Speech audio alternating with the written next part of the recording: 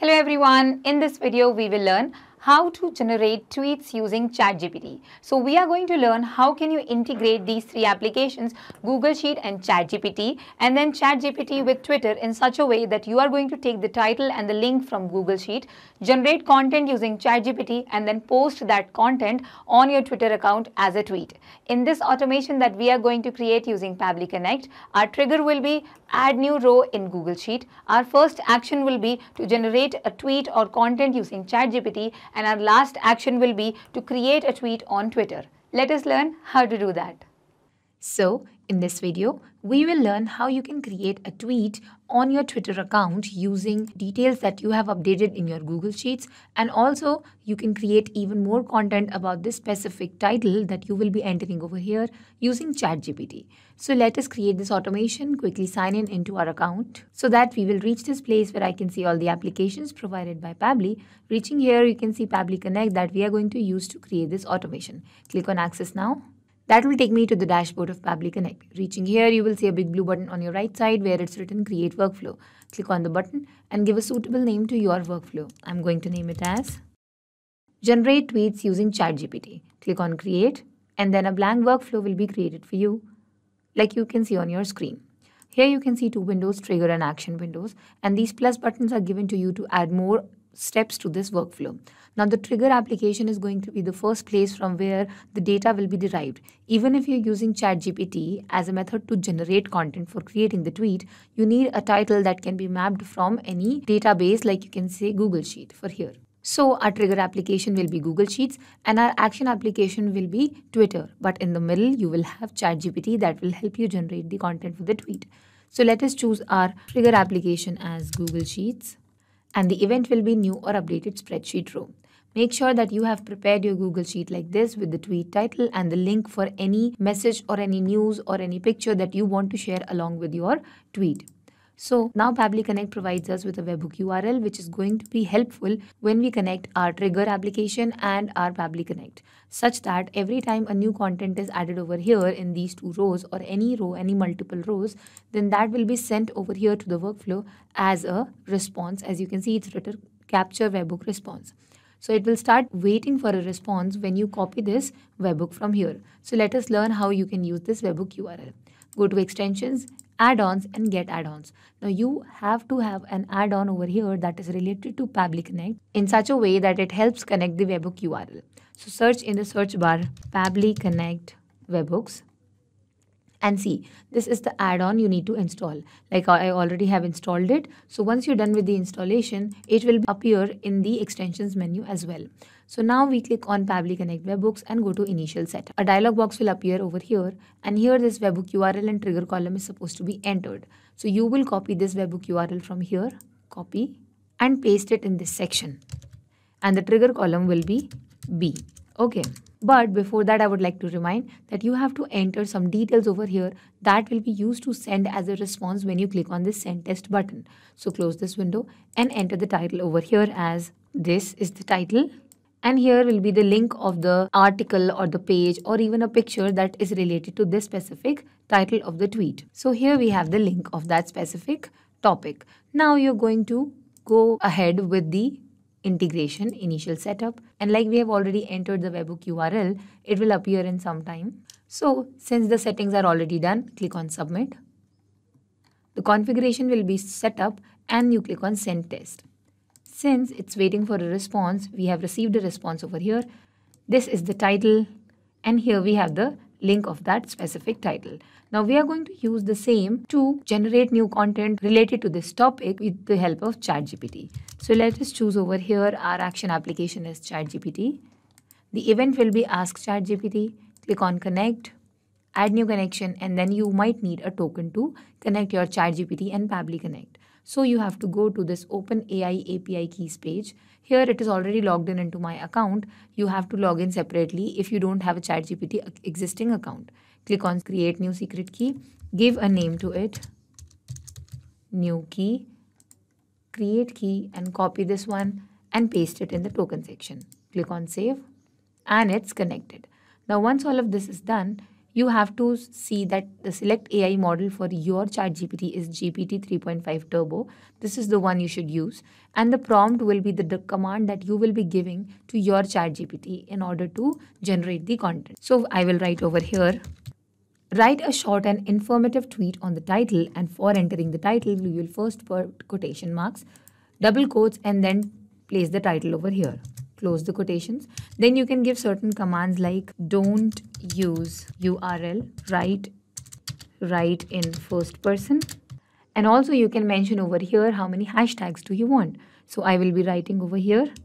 Okay, so now that we have given the topic over here that you have to create a short and informative tweet. So click on save and send test request. So here we have the response which will be useful in creating the tweet along with the title and the link that we have included in our Google Sheets. One more thing that you can do for this is go to extensions, Pabbly Connect webhooks and click on send on event. Now this send on event will make sure that every time a new row is added over here, that will be sent specifically to this workflow in our Pabbly Connect. So once we have generated the content, let us create a tweet on your Twitter account. Choose your next action application as Twitter Action event will be to create tweet, click on connect, add new connection and connect with Twitter. Now you might need the client ID and client secret over here. So in order to get these both information, you have to click on learn more, which will take you to this forum page of Pabbly. And if, from here, you will find the developer Twitter page. Click on this link and it's the developer platform. Now you have to follow these instructions that are given over here in your forum.pabbly page but I will show you straight away how to do it. If you don't have an existing account, you have to select sign up for free account. Because I already have one, I will simply click on get started, projects and app from the left panel and then select the username of my Twitter account. When you reach this place, click on keys and tokens and here you will find the client ID and client secret. So copy this client ID from here and paste it in the respect, respective position back to client secret. Yes, you have to regenerate it every time again because it is expired once the work gets done. So paste it again over here. Click on save and give access to your Pabbly Connect to connect with your Twitter account. Since the connection will be established, now that we have connected Twitter and Pabbly Connect, we are going to draft the message over here about the tweet that you want to create. So click on the blank space and then you have to insert data from the previous step. So let us map this value from Google Sheet. First of all, the title of your tweet. All right. Then press enter and then you can map the newly created content that you have created using ChatGPT. Once this is done, you can press enter and then give a space when you map the link of the content that you have used in your Google Sheets right here. So once this message has been drafted, no code tweet ID or direct message deep link is required over here. You will just simply click on save and send test request and your tweet will be uploaded. And it is here. See, first of all, when the ID is shown over here in any response, which means that the work has been done and the ID is a proof of that content created or that tweet posted, whatever action event you have chosen is done. The text is like this. It will appear in this way. So let us close this window and check that have we created a tweet or not. So this is my profile. I will refresh it. And here we have it. See, this is our title and this was the content created by ChatGPT and here is the link that we have pasted along with our content which means that we were able to create the tweet successfully. Let me close this Twitter developers and OpenAI page. Alright, so now since we have done the creation of tweet on your Twitter account, but there is one catch over here that what if you are uploading the same content all over again on Twitter? Alright, the similar kind of response. So if the message stays the same and I click on save and send test request again, so now you can see the response says that you are not allowed to create a tweet with duplicate content, which means that if this case happens to take place, then in that case you will receive a mail saying that or stating that the status of your automated tweet has been failed or if it was successful in the case prior to this it was successful so a mail can be sent in that situation as well so this last step is just for a backup that you will be informed safely about that situation so it's your choice up to you that you want to add this step or not. But I would suggest it's an important one. So for this, we are going to use a feature by Pabbly that is called router. Router, as the name suggests, is very clear that we are dividing paths of the responses. If the response says true, so a path will be decided for that specific condition, and if the response says false, then a separate path will be decided for that specific condition. So let us choose the filter and action step for the first route. The first route says that if the Twitter response says forbidden and the filter type is exist. So if the response for your Twitter action step says forbidden. If this step exists, click on save and send test request. It says the condition is true because for now this is there. If this step exists, then the action for this filter will be to send a mail to the user itself, to the user itself about the failed status of their Twitter uploading. So for that, connect your Gmail account, select add new connection, connect with Gmail and choose your Gmail account. Click on allow and it's connected. It's successfully done. Now you have to enter the recipient email address. I am entering the email address that I have that is related to my Twitter account. This is my email address. Now the sender name you can type over here as a dummy name, my dummy for now. Subject is tweet status colon and field. This is the subject. Now the content will be okay. So this is the email that I have drafted for this situation. Once this is done, click on save and send test request. And the response is sent over here. Alright, so once this is done, click on close that you have set this step.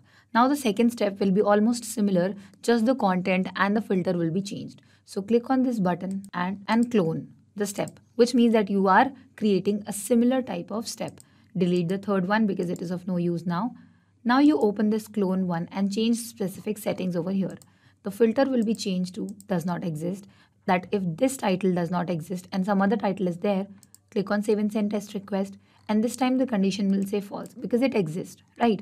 In this condition, the mail will be sent to the same person obviously, but over here the subject will be changed to success and here the content will be changed to this. The content is changed Click on Save and Send Test Request and the mail will be sent accordingly. Once this is done, close this window and here we complete the workflow. So let us go back and check in our Gmail that have we received a mail for this specific condition of the Twitter post.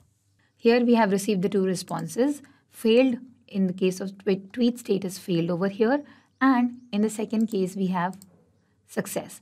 This is because we created a workflow. So these are the dummy emails that have been sent, which means that our workflow has been a success. So first you took the title and the link from the Google Sheet, generated content using ChatGPT, then posted it to Twitter and then put a router in the case if the uploading of the tweet fails. So this was the whole workflow. I hope this helped. Not just these applications, but you can integrate many other applications using Pabbly Connect. If you have any issue regarding Pabbly, you can email us at support at pabbly.com. You can ask your queries at forum.pabbly.com. And if you have any doubts regarding our pricing, then you can connect us through this given website. If you found this video helpful in any way, then make sure to share this with your friends and colleagues to make their life easier by creating automations.